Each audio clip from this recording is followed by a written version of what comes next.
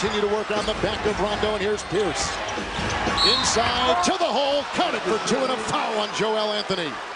The captain comes up with a big dive inside.